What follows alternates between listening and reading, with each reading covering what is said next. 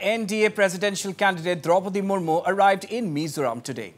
Murmu arrived at the Lengpui airport in Imphal, airport in Aizawl earlier today, where she was received by the Mizoram Chief Minister Zoramthanga. Murmu also attended a program at the Aizawl Club, where she addressed the Mizoram cabinet ministers and MLAs. Notably, the NDA presidential candidate is touring the northeast to drum up support for the presidential elections. And prior to this, yesterday, Murmu visited the states of Arunachal Pradesh, Meghalaya and Nagaland.